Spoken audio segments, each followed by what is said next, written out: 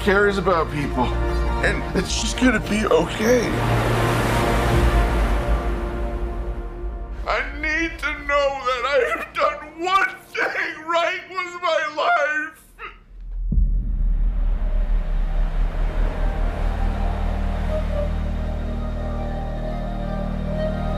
The Whale was a drama, A24 drama, directed by Darren Aronofsky and stars Brendan Fraser, Sadie Sink, Hong Chau, Samantha Morton, and Ty Simpkins. This was premise.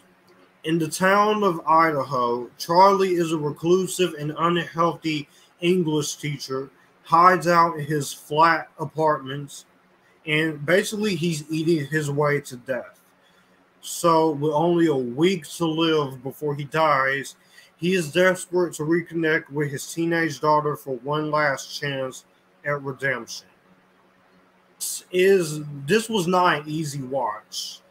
And when it comes to Darren Aronofsky, this is a director. He has a very interesting track record. Now, I don't love everything Darren Aronofsky does, but he does put effort into what he's trying to do. I haven't seen The Fountain and such, but one thing you do have to give him credit for is he is ambitious. He does know what he's going to do, and he does go for what he is going for. So, this movie is fantastic. This is an emotionally and devastating, but very unflinching at times, and very hard to watch at times. Heavy look on obesity, loss, isolation, redemption, and obsession. And this was one of my favorite movies of last year. Going to the positives, Darren Aronofsky shines a light with a great character studies for these characters, mainly with Charlie, of course. You're dealing with themes of obsession, self redemption, isolation, what those three effects can take a toll on you, and having messages about focusing on yourself before having to focus on somewhere else. Like you have to deal with you as a flawed person right before have before you can help someone else. And I thought that really did help into the way I was looking at this movie. And also giving people a second chance when they're at their most vulnerable. And for some people, they can be pretty exhausted with this. And I have seen some people not like the movie for those reasons or being in one location. Because this is a movie that takes place in one location. And it just goes and this one location setting you do feel the dread. You do feel the anxiety. You do feel the loneliness of the main character of charlie which i'll get into the performance. But through Darren Aronofsky's direction and through the great cinematography and the way this movie is framed, and the script by Sam D. Hunter, who also wrote the play on this. This is a well written movie for the most part. I took a lot away from this watching this back in December. Direction and cinematography wise, and of course, script wise, all of that is very strong here. But the thing that really elevates this movie is definitely Brendan Fraser, which he is not only on a career resurgence with this and stuff like Doom Patrol and such, but his performance definitely deserved the Oscar nomination. And you can tell Brendan Fraser put his all into this. He not only had to put on weight and prosthetics for this role, but he did have to take himself into a pretty dark place when it comes to his role.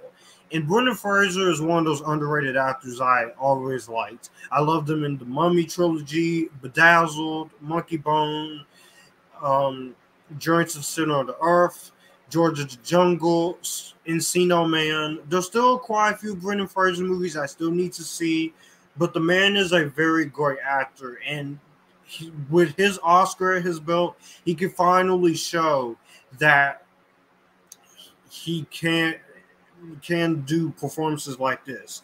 He does have moments of humor in this movie, but for a role like this, where he had to not only put on that much weight and put on prosthetics, because he's basically playing a overbearing 600 pound man, but he also had to do research and how to move like an obese person. And he was fantastic. It was either him or Austin Butler, but I said to myself while watching the Oscars back in March, he he was gonna win, and I was right. Well deserved win on his part. His performance in this movie is emotionally heartbreaking, devastating, and vulnerable. You even have to see him because this is a man, like I said, he's basically eating himself to death, but also not wanting to get the help he needs. He's also an English teacher. He's trying to rekindle his relationship with his daughter, but he was great in the movie. His performance is heartbreaking at times, very funny at times with some moments of funny, and just reminds us all as to why Brendan Fraser is a great actor. He's always been a great actor, and I'm glad that people are starting to see the talent that he is because he is definitely a fantastic actor and he nailed it in this movie. He was great. Fraser, there is one scene in this movie involving him and the wife, played by Samantha Morton, which she was good in her one little scene there, where he basically just breaks down. And if you've seen the movie, you know what I'm talking about. But that one line of dialogue when he's basically crying and he's basically saying that line of dialogue, I felt that. He's very good. That scene is probably my favorite moment of the entire movie. When he says, I need to know that I have done one thing right in my entire life. That just, it was heartbreaking to hear that. Porting caster, you have Hong Chau as Liz, where she got a best supporting actress. I loved her in the menu last year, and she was very good here, being an emotional anchor and emotional support. And she also has something to do with the character Charlie. I'm not going to spoil it in case you haven't seen it, but with the emotional story and character weight that she has, there's even some moments with her where she's crying, but she has some very lighthearted moments to her, and I thought she was fantastic. And the rapport that she has with Charlie, trying to get him the help he needs, getting him his meals, making sure that he's taken care of, making sure that he's okay in the last few weeks, few days of his life. He's just her performance was fantastic, and I thought she really anchored this movie up to the emotional vulnerability that is desperately need, needed with some lightheartedness to her role. And she brings a lot of warmth into it. Second standout of this movie, next to Brendan Fraser, is going to be Sadie Sink as Ellie, who she has to play a very tricky role, which anyone who knows me knows I am a fan of Sadie Sink. I have been ever since Stranger Things. Her character in this movie has to play a very tricky role in the character of Ellie. She shows a lot of anger and a lot of hate and a lot of resentment but there are a few moments here, especially towards the end, where she does want to try to help her dad. She does have an emotional scene towards the end with her and Brendan Fraser, where she's begging him to get help. But Sadie Sink is a great rising actress that she pulls off the wall very well. And she was great. She's basically a younger version of Julianne Moore, if you will. And Sadie Sink already proved that she is a great actress. The other aspects, such as the editing of, editing of this movie, this movie is 117 minutes. Didn't feel like it. It was well edited. It was tightly paced. Aside from one scene in the beginning, I could have done without. The score by Rob Simonsen is very good. It does a good job at making you feel the emotional weight, but it also puts you into Charlie's shoes, where you're basically watching a man eat himself to death. And I, like I said, some of these moments in this movie are not easy for the faint of heart to watch, especially if you're someone who is obese, who is dealing with food problems, who is dealing with problems of her own.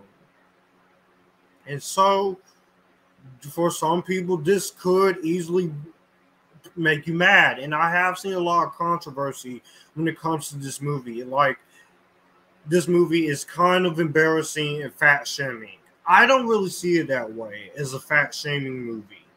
Things that does bring this movie down is while these are two good performances and Ty Simpkins as the one character who basically lies and he ends up getting his little redemption story at the end. And Samantha Morton does a good job as the mom character of Ellie. I felt like they were kind of just there because the movie needed them to be there. They're not bad performances by any means necessary. I just felt like they were just kind of there and they could have done a little bit more. They're not bad performances though. I do think they do give very strong, capable performances into the movie. Besides the mother characters, there is one scene in this movie that in the beginning I know this is sort of a thing that people deal with personally, but this is the one moment you could easily cut out. Now, you understand when it comes to Charlie's dealing with his sexuality and such and such, but that wasn't really needed. Okay, that wasn't really needed to there. It was kind of just there because the movie said it has to be there. The ending, of course, I didn't have a problem with. But my final negative when it comes to this movie is while I love the performance of Sadie Sink, I thought she did a great job as Ellie.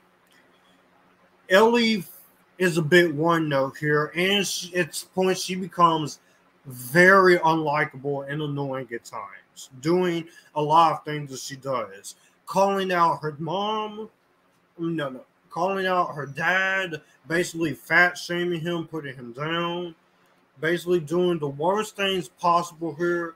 It kind of goes into that straight up villain territory. Now, I totally understand a part of why Ellie is acting the way she is. I'm sorry, this was just unethical to watch in the points, and it was became a little bit unbearable with her being very angry and resentment all the time.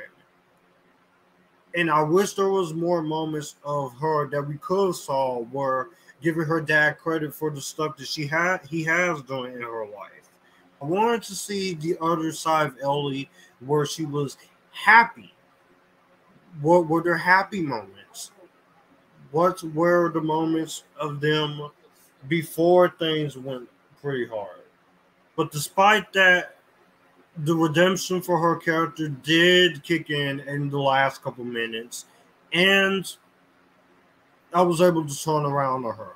Could have used a little bit more runtime for that, but all of that could have been done a little bit better. There. But all in all, The Whale I thought was one of the best movies last year. I can't wait to talk about this a little bit more in my best 2022 thing I got coming. This movie is a heartbreaking, unflinching, very emotionally devastating, but emotional look at isolation obsession with obesity and food, self redemption and regret and remorse, thanks to Darren Aronofsky's direction, but also anchored very well by strong performances by Brendan Fraser, Sadie Sink, and Hong Chau. This is not going to be a movie for everyone, especially with the subject matter and the fact that this is an A24 movie. So know who you are going into this. Because I'm telling you right now, don't come crying to me talking about this movie was too emotionally devastating for me. Because this is an emotionally heavy film. If you've seen the trailers, if you've seen any clips from this movie, but I will definitely recommend this for a one to watch if you want to see how Brendan Fraser got his Oscar win. So definitely, I'm gonna go ahead and give this one a better than Vampire Academy is almost close to being a Spider Verse seal of approval, but just a few issues does let it down a little bit. Sure, when I watch this again, when I have the pa- or patience to, I can definitely take a lot more away from it. well that's gonna do it for the video that you just watched. I will have my channel here so you would like to see anything here. Click the channel icon subscribe for more. I will also leave a video and maybe a playlist here so in case you want to see what i'm about. As always stay epictastic join the Epictasticness and you guys keep it cool